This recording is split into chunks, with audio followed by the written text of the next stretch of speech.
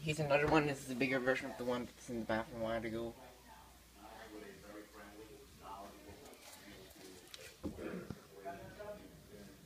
Here's the heat itself. Yeah. I don't know why it's such a thin heater. Why do they need to put in such a huge casing? Unless they put a fan in there, didn't we? There you go. Thanks for watching.